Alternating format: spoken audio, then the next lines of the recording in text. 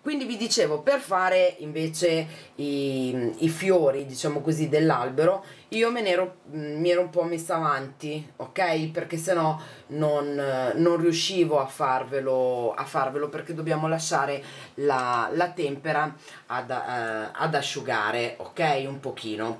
Quindi che cosa ho fatto? Io ho preso in questo caso il pennello a lingua di gatto ok? Anche questo lo trovate su www.bimagenta.it misura 2 vedete che ha questa forma eh, particolare. Che tempere ho preso? Ho preso la tempera magenta e la tempera eccole qua e la tempera bianca. Va bene? Quindi che cosa faccio? Bagno il pennello aspettate che la tempera si è seccata perché ovviamente l'ho preparato prima quindi ne prendiamo ancora un pochino. Dopodiché prendo appunto il magenta e il bianco e vado a creare una nuance più chiara in questo modo ok? Così. Con la nuance più chiara vado lungo i rami. Quindi partiamo dal basso. Così. E fa, do delle tipo delle padellate no? Non so in questo modo. Qua in basso ci vado di invece di punta. Così. In modo da creare proprio delle um, come, come qua. Va bene anche in questo caso salgo proprio sopra i rami eh? non è che mi creo problemi di sorta ok mi raccomando lasciate sempre delle parti più, più scure eh? perché dobbiamo creare ovviamente il come si dice l'effetto di profondità quindi così ok ok inumidisco leggero leggero e vado sopra. Una volta fatto questo prendo praticamente solo bianco in questo modo. Ok e vado ad aumentare vedete? L'effetto. Così vedete che non mi sto creando molti problemi eh, anche se sto andando sopra il verde eccetera perché comunque le tempere sono assolutamente coprenti. Quindi faccio un lavoro di questo tipo. Ok? Mettiamoci qua.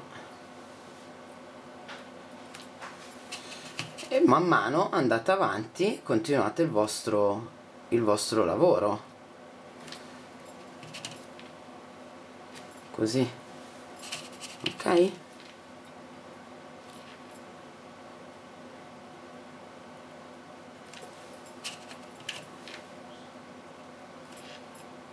E via discorrendo. Ora non ve lo faccio tutto perché sennò mi state a guardare solo che faccio delle, delle pennellate eh?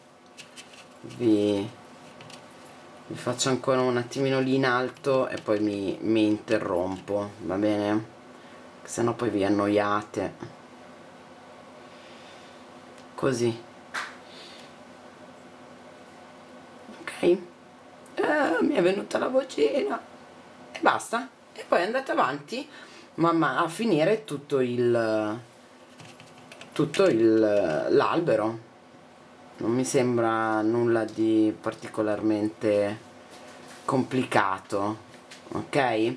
Quindi che cosa abbiamo utilizzato? Abbiamo utilizzato il pennello a punta piatta angolare aspettate che ve lo pulisco e ve lo faccio vedere misura 2 il pennello a lingua di gatto anch'esso misura 2 e il pennello a ventaglio oltre ovviamente alle nostre tempere alimentari e pasta di zucchero. Vi ricordo che trovate tutto su www.bimagenta.it adesso vi giro così vi faccio vedere prima quello che abbiamo fatto la prima parte. Ok? Eccola qua. Guardate che carina bellissima l'erba fatta così mi piace da matti. E poi vi ho fatto vedere come fare anche l'albero ok? Tutto con tempere alimentari. Quindi il nostro canale youtube per seguire tutte le, le dirette anche quelle vecchie che vi stiamo eh, pubblicando giornalmente. Mi raccomando, iscrivetevi al canale e condividete, condividete, condividete i video se vi sono, se vi sono piaciuti. Mi raccomando, pollicione in su. Io direi che vi auguro un buon weekend. Spero che la lezione di oggi vi sia piaciuta, che l'abbiate trovata interessante e ci vediamo direi lunedì alle 2 sempre qua. Io vi auguro un super bacione. Vi ricordo www.bimagenta.it. Ciao, buona giornata!